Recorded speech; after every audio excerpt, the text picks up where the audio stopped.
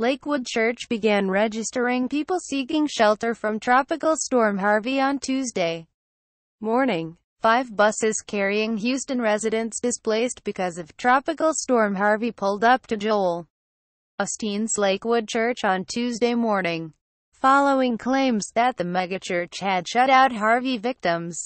Lakewood formally opened its doors Tuesday at noon to accept baby diapers and adult diapers on behalf of the city.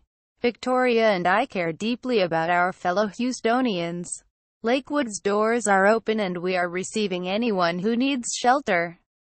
Osteen tweeted Tuesday at 11:12 a.m. Related, Osteen's Lakewood Church tries to set records straight on Harvey responses of 12:08 p.m. Roughly 50 people have been admitted to the church to register for shelter.